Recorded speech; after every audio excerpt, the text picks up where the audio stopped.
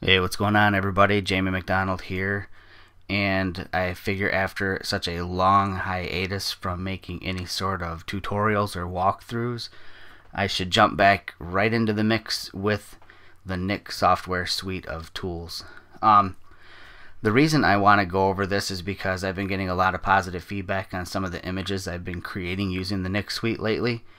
And um, I just wanted to show how combining multiple different uh, parts of the package can give pretty impressive results. And I have some images shot in these abandoned train cars that I had uh, taken some time to visit not too long ago, and I thought that they would work well for subject material for this walkthrough. So what we have here is the scene of an interior of one of these abandoned train cars.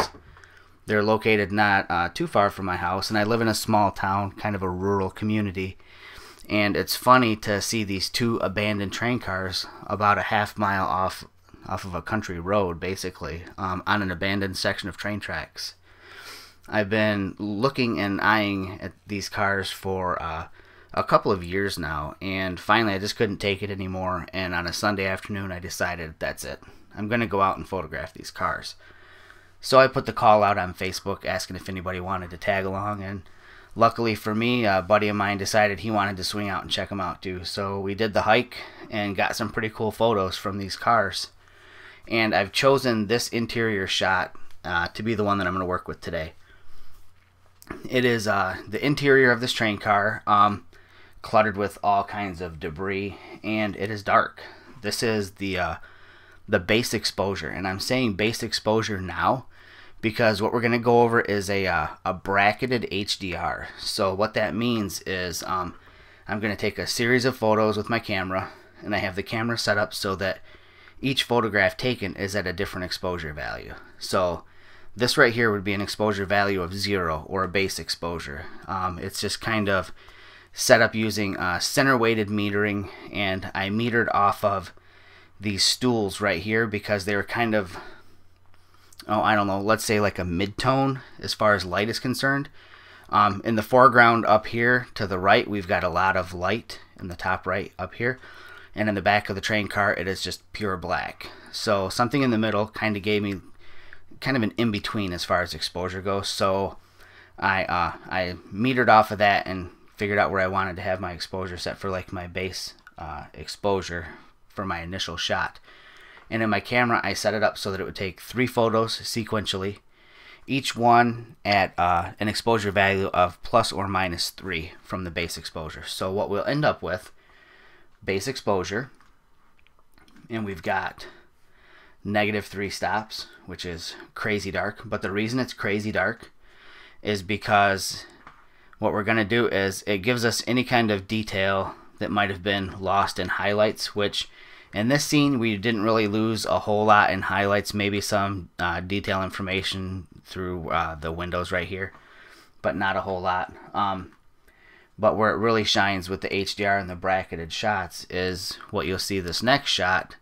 is at uh, plus 3 exposure value. Right now, the base uh, exposure, the back of the train car, you see nothing at all. It's just pitch black emptiness.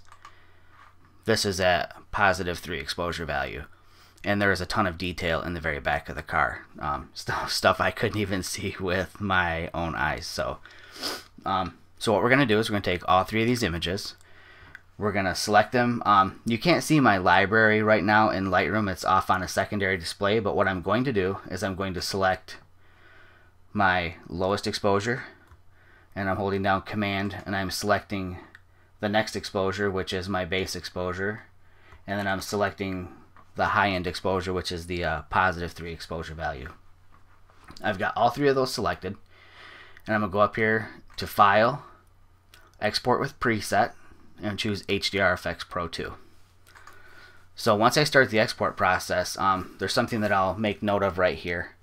Um, I was shooting with a manual focus lens, the Rokinon 7.5 millimeter fisheye, and this lens has no um, there's no electronics on board on this lens so it does not communicate with the camera at all um, it's all manual focus and because of that um, HDR Efex Pro 2 is going to be missing some information from the EXIF data on that file which means it doesn't know what exposure value each one of these shots is taken at.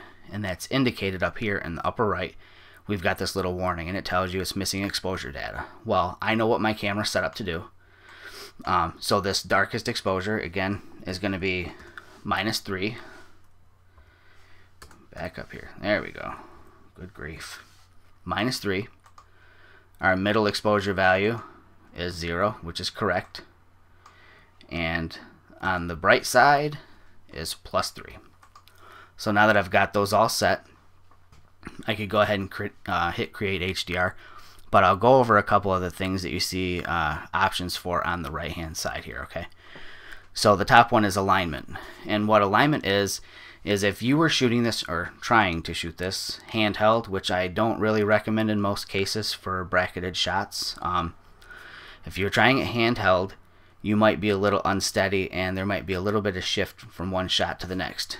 By ticking the alignment box right here, what happens is, is it's going to analyze each one of the, the images and it'll find some defining characteristics that are really strong edged, um, you know, like these poles right here or the edge of this ductwork or whatever, and it'll take those edges and it'll try to align them from one image to the next to try to take care of any uh, shift that there may have been from you moving.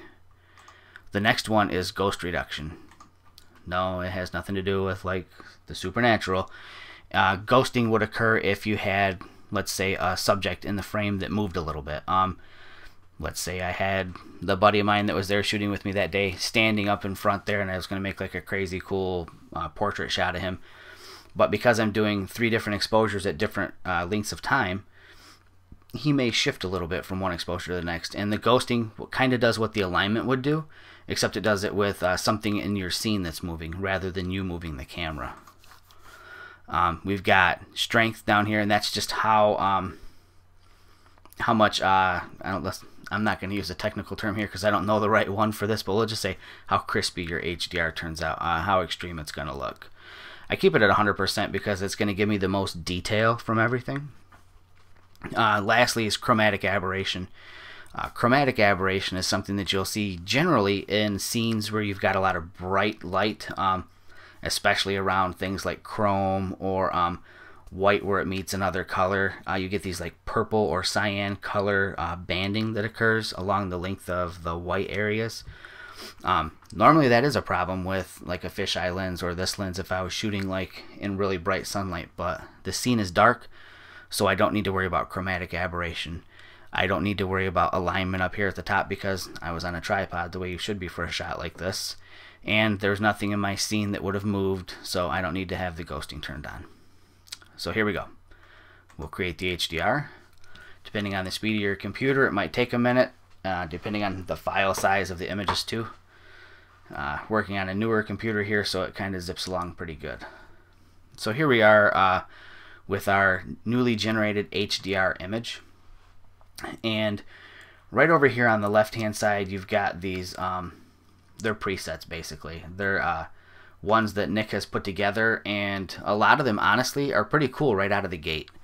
Uh, I generally use these as the starting point for any of my uh, completed projects.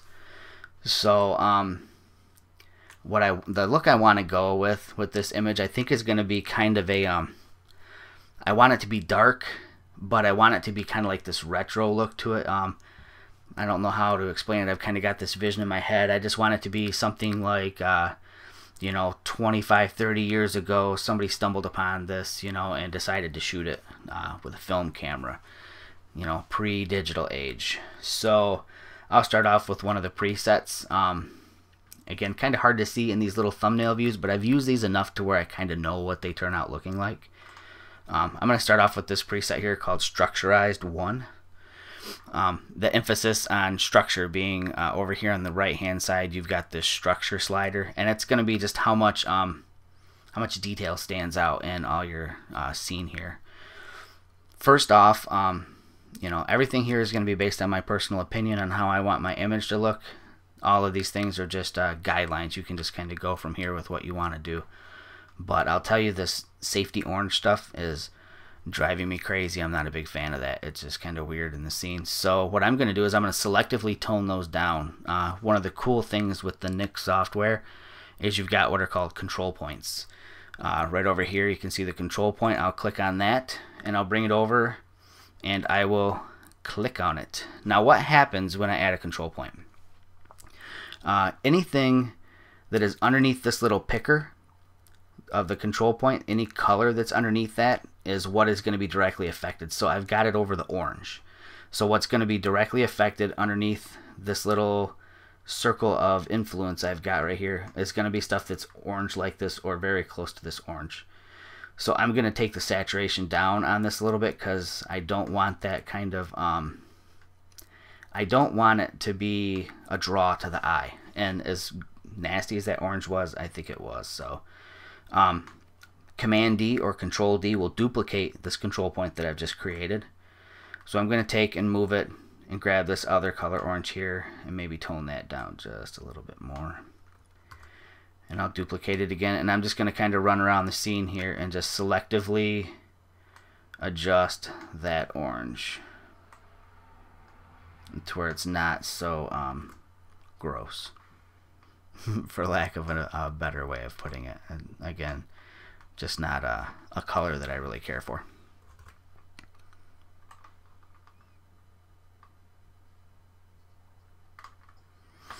Okay, so I've de-emphasized those a little bit.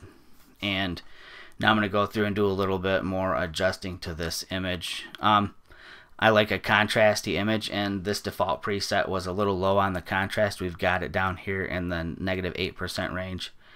I'm going to crank it up a little bit. I think 20% is good. I'm going to darken up just a little bit. I don't want to lose everything that's in the back. I want to keep just a little bit of detail in there so you can see that there's something going on back there. It's kind of a, it's a mystery. We don't know exactly what's going on back there. Um, kind of digging it. I'm going to drop down the exposure just a fuzz. And I'll throw like a lens vignette on this. There we go. Alright, kind of cool. Again, we're not done yet because the whole plan here was to work within a couple of different pieces of the Nik suite. So here we are with the first part of it done, uh, working in HDR Efex. We were able to pull out a lot of detail back here, just enough to kind of add to the scene, more so than we would have definitely had in our base uh, exposure, which had most of this back here is just completely blacked out. So I'll save it out. And when it's done saving, it's going to dump us right back into Lightroom. And from Lightroom, we can export out again into the next part of the Nik suite. Uh, something else to note too, when you're exporting out of Lightroom to do your bracketed HDR, um, Nik does not recognize your camera's uh, native RAW format. So what it does is it's going to export out those images as TIFFs. Uh, I hate notifications while I'm trying to do this stuff. Let me turn my phone off here. So uh, what happens is, is it uses a TIFF file. TIFF is going to be about the next best thing that it can work with. Um, it's a a high bit format that has tons of detail or tons of uh, image information in it to work with. Pretty darn close to RAW. So you'll notice when you go to export from Lightroom into HDR Efex Pro, it'll say that it's exporting out a copy as a TIFF. So I just thought I might point that out to you. Okay, so here's our modified image. Now from here, we're going to develop or edit it in um, I think we're going to use the uh, Analog Efex because, I, like I said, I kind of wanted to go for that older feel to it. Um, so you just go to Photo, Edit In, and here's Analog Efex Pro 2. Um, Silver Efex Pro is how I like to do all my black and whites. I could have went a totally different direction with this, but like I said, I have a look in my head that I want to use. Um, again, it's going to export it out as a TIFF. We could do it as a um, as a Photoshop native file which works great because you still have a ton of detail in it. I don't ever export out to work in one of these apps as a JPEG because you just lose so much information in your image that you end up with like really muddy pictures. So let's uh, keep it as a TIFF file and we're going to edit it. Um, I can edit the original. Uh, if you had done any adjustments in between HDR Efex and Analog Efex in Lightroom, then you would obviously edit a copy with your Lightroom adjustments applied. So I'm just going to edit the original here. And Analog Efex Pro fire up. Alright, so here we are in Analog Efex. And it's funny, it's preset to kind of the look I was going to go for, but I'll recreate this myself. So over here in the upper left, we've got some uh, different faux camera effects that you can work with. Um, we got what they call a classic camera, wet plate, which I guess if you want to go back to the uh, late 1800s, uh, toy camera, which is kind of cool. You know, you can get like a really Holga look to it. Um, you can see you've got the the blurring that you might get from a plastic lens or whatever over here. Um, I seem to spend a lot of time like either in the vintage camera or the classic camera presets. So we'll go to the classic camera. And this is kind of the starting point that I was going to use.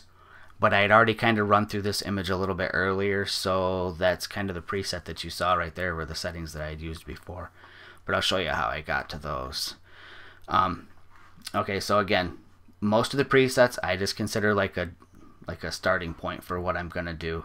Uh, every once in a while, I might just start from scratch and just create my own right from the get-go. But in all honesty, the presets that come bundled in are really cool, and lots of times just some tweaking for individuality works out really well.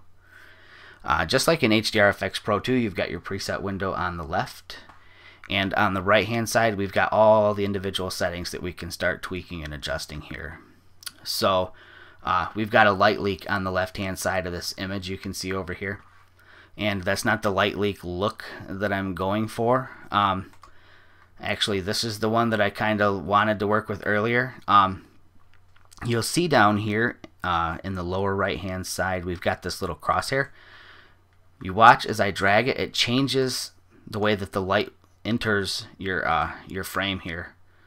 So again, just by playing with this, you can take what the uh, the canned preset was and just kind of make it your own. So I had this over here earlier because that was the look that I dug. So I've got my light leak added. Um, change my film type. I want more of a, uh, a warmer look to the scene. Maybe not quite that warm. I kind of dig that. Um, you could add frames and borders around it. You know, again, a lot of a lot of this is just you know it's subjective. It comes down to your own personal tastes. Um, some people don't like the border, some do. We can go back to our basic adjustments. Um, we'll darken this up just a little bit. And there you go. I mean, that's kind of how I might like it. So we'll save this out.